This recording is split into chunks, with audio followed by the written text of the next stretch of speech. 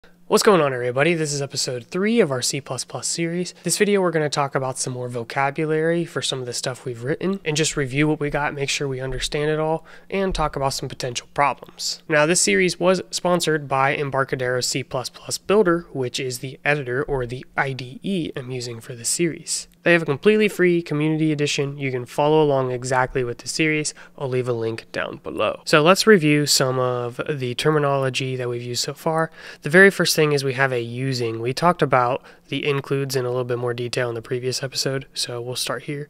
Using makes it easier for us to type code, but can cause problems later on when you have a more complex application and you have things with the same name. For example, C out right now is coming from the standard namespace, but what if there was another C out from a different namespace? How would C++ know which one we're talking about if we don't prefix it with standard like so? That is the issue that I am talking about. So some people will just not use using namespace standard and just prefix everything. But for the very basic code we have now, it's not a big deal. We could always go back and change our code as needed.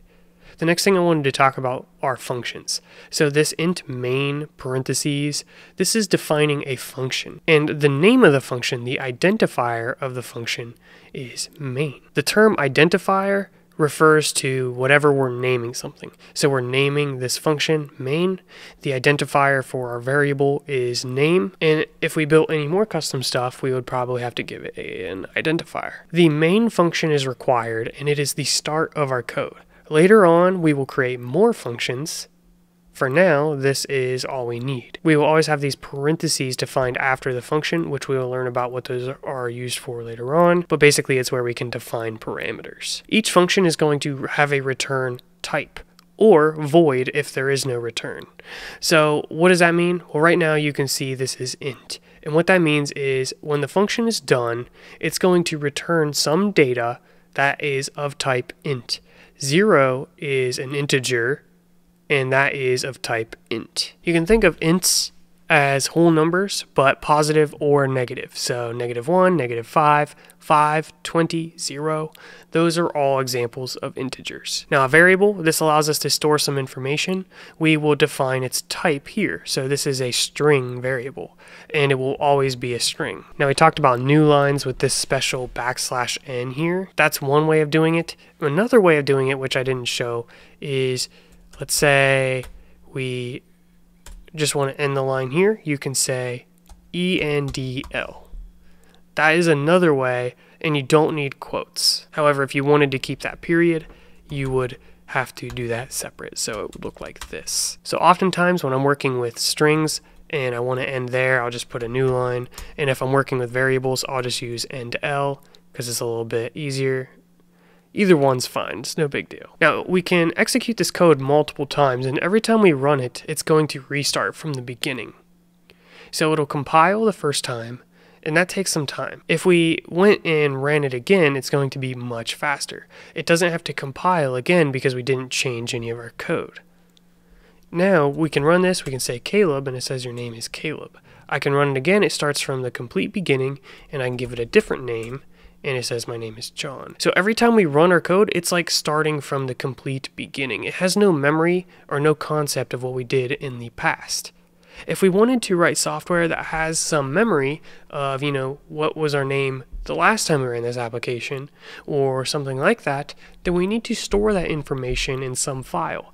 Often this is going to be a text file or a database. So we will learn a little bit about reading and writing to files in this series. This is going to allow our application to have a memory if we wanted to say create a shopping list application or whatever it may be, you can do that, but that's going to require writing to a separate file. The last thing on here is this system pause. This is a hack to basically get the terminal to stay open. And you're probably not going to use that in a production application because at this point the application is done and it can just close itself. So for example, if you if you created some custom menu and it said do you want to quit, you type yes, you don't need the code to then say type any key to continue. You can just have it shut at that point. So this is going to be here for our example but we don't really need it in a production application. So now that we have a bit more of that background behind us, I want to talk about this using in more detail to at least show an example where it might be a problem.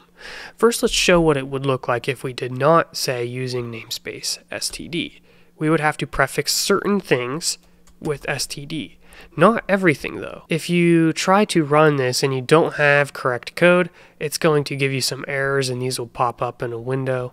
And it doesn't know what this string is because we didn't prefix it. So we'll have to say standard, same thing for cin.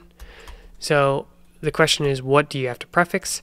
Well, anything defined inside of the standard namespace, which includes cout, string, cin, and end line. So let's say standard, oops, not in capitals. That's another important note. The capitalization does matter. So let's go ahead and try this. We don't get any errors and it works the same way. The benefit of prefixing everything with std is it prevents naming conflicts. Let's say instead of calling this name, we called it something else, like cout. Obviously, that's a bad naming choice because we know that already exists here, but technically this could work. So instead of putting this in the name variable, we'll put it in the cout variable, and we'll change it here as well when we display it. This works because C++ can tell that this cout is different than this cout. So when we run this code, you can see it works just the same way. If we instead had using namespace std, well, then we would remove all of these, and this is going to be a problem.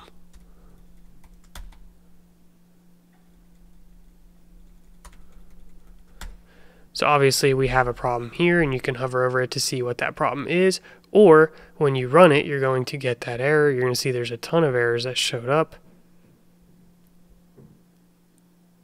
We can bring those messages up and you can pin this if you wish. And it's complaining that we have some bad use of operands. So obviously this is just not going to work. So let's go ahead and undo that. We can just say Control Z and that'll start undoing our actions.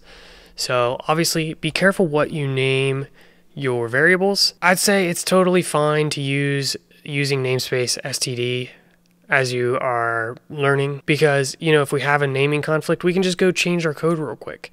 The problem is if you have a code base that's you know millions of lines or whatever it might be it's not easy to go and change everything. So with smaller applications no big deal I wouldn't worry about it. I know I'm going to get comments saying, oh, you're dumb, you're doing it wrong. Either way, so I'm not going to worry about it. I'm probably going to keep using namespace std to make writing code simpler. That way we don't have to worry about prefixing everything all the time. We can just focus on whatever we are learning at the time. There is another option I wanted to show you guys, and that is you can say using namespace std, but only for certain things. So we can say using namespace std colon colon c out. And actually when you do this, you're going to remove the keyword namespace. We're not importing an entire namespace, we are just importing one thing from that namespace. Now, whenever we say cout, it's going to assume it's coming from std namespace. But for cin, we're going to have to keep it. So let's go ahead and change this back to name. Sorry, I didn't undo all of the way, so my changes aren't here yet. So let's go ahead and fix that. And in this situation, we're going to have to prefix everything else with std. So that should be working code at this point. And obviously, in this situation, I think you can just keep standard if you accidentally had that or you typed it out. That's no big deal. You can still prefix if you've already said using, but there's no need to. But just to show you that that works, we can compile this. That works just fine. And we can also just remove that. So just to, you know, try different things. So let's run this make sure it works. What is your name? John. And it says your name is John. Perfect. The next video, we're already going to start talking about branching in our software. So basically, how do you do different things depending on something? This is often called control flow. This is done with an if statement, and that's what we're going to be talking about in the next video. Definitely be sure to subscribe and stay tuned. I'll see you then.